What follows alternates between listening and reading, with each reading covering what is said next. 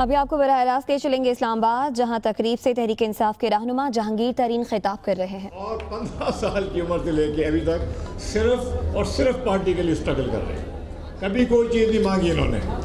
اس لیے جب سینٹ کی الیکشن کی باری آئی تو میرا خیال ہے پاکستان تحریک اور اسد عمر بھی اگری کرتے ہیں میرے سے کہ پاکستان تحریک انصاف کا سب سے اچھا فیصلہ تھا کہ فیصل جاوید کو ٹکٹ دیا جائے سینٹ میں یہ ہے آپ کی پارٹی، کسی اور پارٹی میں میں آپ کو یقین دلا دوں۔ نہ مراد زہید جیسے لیڈر کو کوئی ایم این اے بناتا، نہ فیصل جاوید جیسے لیڈر کو کوئی سینیٹر بناتا۔ یہ سوچ ہے، اس سوچ کو ہم نے آگے لے کے جانا ہے۔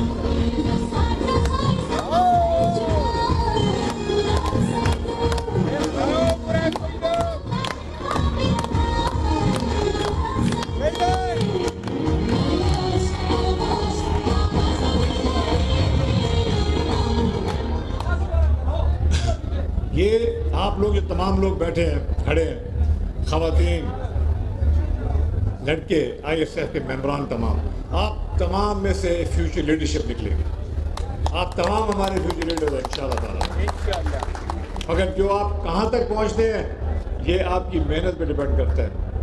پارٹی ان شاء اللہ تعالیٰ آپ کو موقع دے گی۔ کیونکہ آپ لوگوں کے بغیر آئی ایس ایف کے بغیر میں پاکستان تحریک انصاف کو نامکمل سمجھتا ہوں۔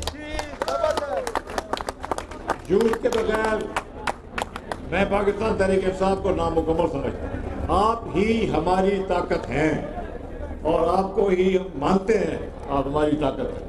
ہمارے تمام جلسوں میں جو سامنے سارے کے سارے لوگ کھڑے ہوتے ہیں وہ نوجوان ہوتے ہیں۔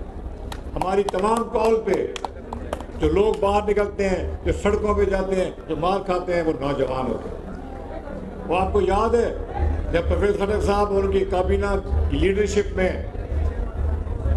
لاک ڈاؤن کے لیے اسلام آباد لاک ڈاؤن کے زمانے میں آپ پورا خیبر پختونخوا سے قافلہ آ رہا تھا اور جس کے اوپر ٹیئر گیس پھینکی گئی اور جس کے اوپر ظلم ہوا۔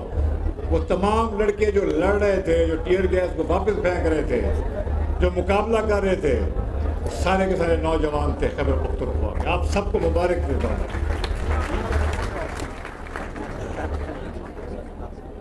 میں چاہتا تو یہ تھا کہ میں کچھ اور بھی یہاں اور دیر رہوں اور میں مراد کی تقریر کروں اسد عمر کی سب کی تقریریں سنوں۔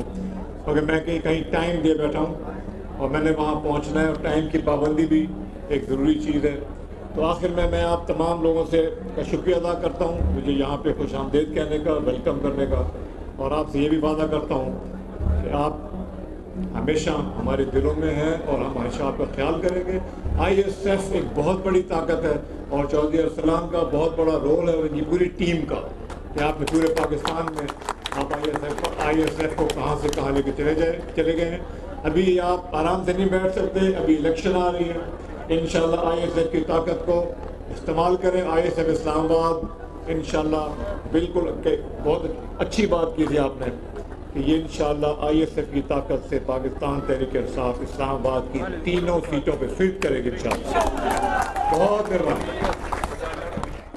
آپ کو بتائیں کہ تحریک انصاف کے رہنما جہانگیر ترین اسلام آباد میں تقریب سے خطاب کر رہے تھے اور نوجوانوں سے کہا کہ اب آپ نے آرام سے نہیں بیٹھنا ہے الیکشن آ رہے ہیں اور الیکشن کے لیے خاصی اسٹرگل کرنا پڑے گی۔